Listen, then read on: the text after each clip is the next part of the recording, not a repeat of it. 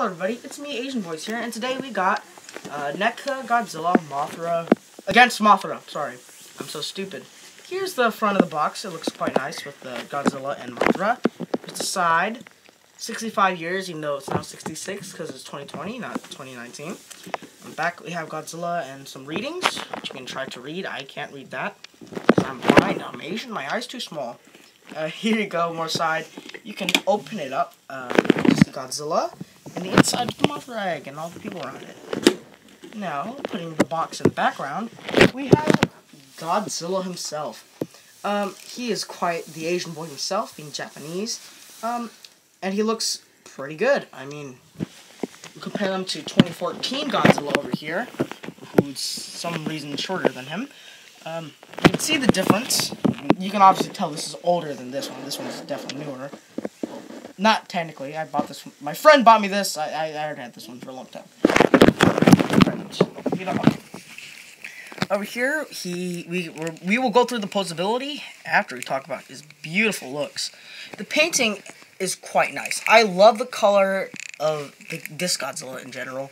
I love how they painted the white spikes, give a nice look. And then, like, uh, all the way to his toes. They even painted his toes, which some companies forget to do because some people are stupid. Um, now we'll go through the posability. Um, his head is on a ball joint, I think. Yeah, it goes all 360, can look up and can look down.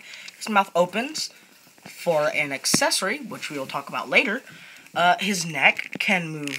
It's also on a like, ball joint, but uh, it's kind of limited because of spikes. Because of this neck, he can look up that far, and he can look down that far. Next, we got his torso. Uh, turn around like this if you wanted.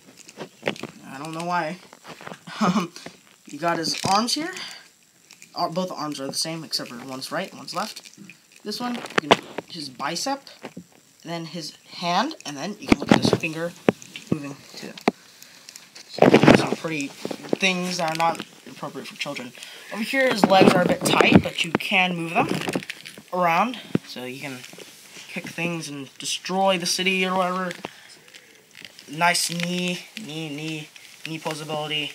And his big feet. Uh, nice, go in a pivot, kind of. Nice ball joint. Next, we got the tail. We have a ball joint, ball joint, ball joint, ball joint, and ball joint.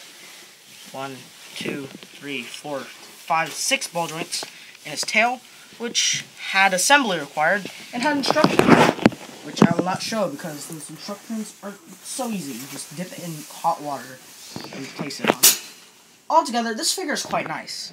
I, I love the size of this figure too, comparing to recently mentioned 2014 Godzilla.